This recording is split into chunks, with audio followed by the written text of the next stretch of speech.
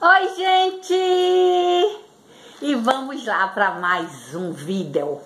E dessa vez eu vou ensinar vocês a fazer um... Desta vez vou ensinar vocês a fazer.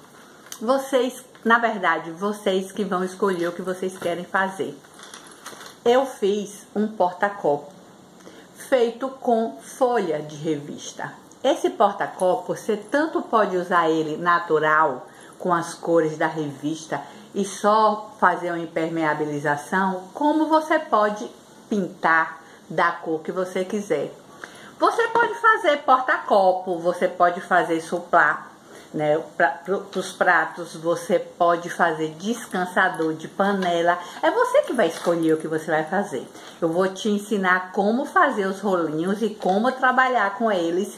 E você escolhe o que é que você quer fazer, tá? Ele fica bem bacana, fica bem durinho, ó.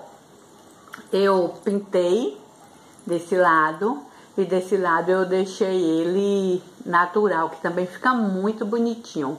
Eu gosto muito desse jeito, tá? E você vai precisar de quê? Revista. Você, você tem vai Você não. Todo mundo tem algum tipo de revista em casa. Eu vou mostrar dois tipos de revista para vocês entenderem uma coisa. Eu tenho aqui um Faça Fácil e um Casa e Decoração. A folha do caso de decoração é uma folha mais grossa, então ela dá mais trabalho para você trabalhar. A folha do Faça Fácil é uma folha mais fininha, é melhor de trabalhar.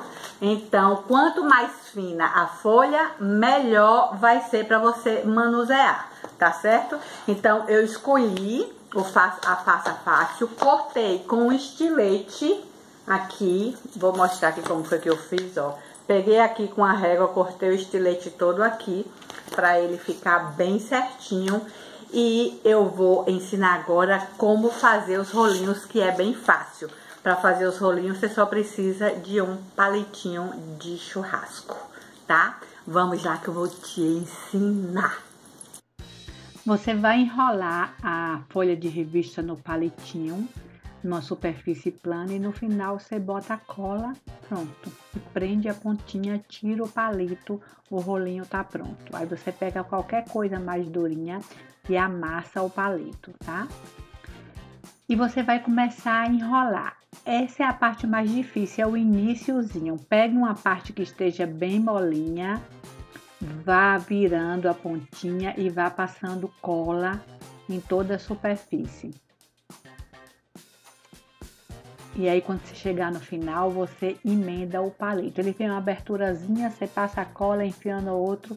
E aí, nessa etapa, ele já vai ficando mais fácil, porque já, você já pode ir enrolando em cima de uma superfície que fica mais durinho.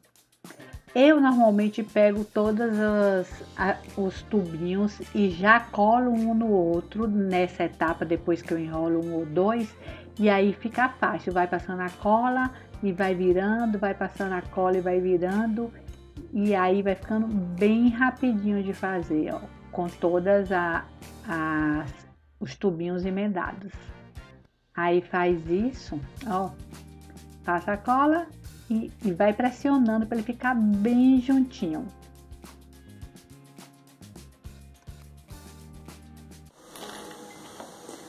Aí quando você chega aqui no finalzinho, você passa a cola nele todo e finaliza, ó.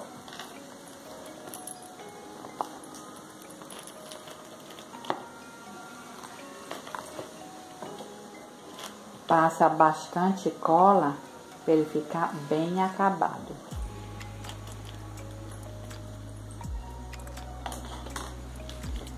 Ele seca super rápido porque o papel ele já é absorvente. E aí você tem duas opções. Você pode usar ele assim, que eu acho muito lindo, ou você pode usar ele assim. Em qualquer uma das opções fica legal. Se você for usar ele assim, você pega a cola branca. Eu uso a cola da Tech Bond. Você pega a cola branca, ó, e passa ela pura por cima para impermeabilizar. Pode passar bastante. O ideal é um pincel um pouquinho mais grosso, mas como eu tô com preguiça de pegar, vai esse mesmo.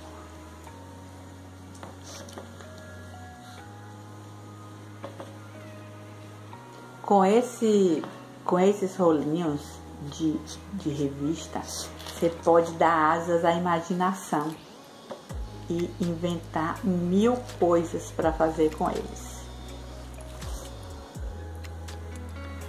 Pronto, passou aqui. Espera secar. Ele vai ficar bem acabadinho, ó. Um, um para um porta-copo desse de, deixa eu ver quantos centímetros,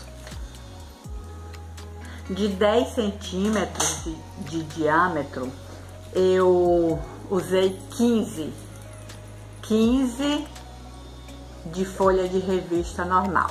Você também pode fazer com jornal se você quiser. Com jornal é bem mais fácil trabalhar porque o papel é bem fininho. E aí, pense aí o tanto de coisa que você pode fazer com isso. Eu adoro fazer rolinhos de revista, eu já fiz caixinhas, eu já fiz uma mandala. Se eu achar a foto da mandala, eu coloco aqui para vocês verem.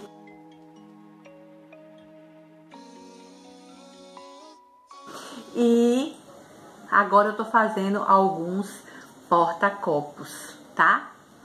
E é isso aí, um passo a passo bem simples, bem fácil, com material que todo mundo tem em casa. Porque quem é que não tem uma revista velha em casa?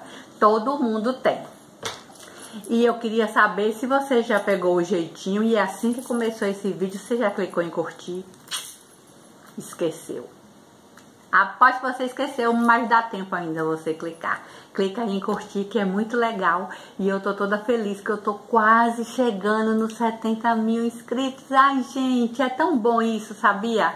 Sim, é, é o reconhecimento de da gente parar. Hoje, por exemplo, é um domingo, eu parei tudo para fazer esse passo a passo para vocês. É um passo a passo simples, é, mas é feito com amor, com dedicação. E o meu maior objetivo é que vocês usem coisas que vocês têm em casa, tá? Então, espero muito que vocês tenham gostado. É, espero que vocês aproveitem a dica. Se vocês inventarem alguma coisa de diferente, manda uma mensagem para mim que eu quero saber o que, que você fez. E me diz aí se você gostou mais assim pintado ou mais natural como revista. Responde aí no box de informações que eu quero saber teu gosto, tá? Então é isso. Um beijo bem grande para todos e tchau. Ah, clicou e curtir, né? Se não clicou, não saia sem antes clicar. Hum. Beijo. Tchau.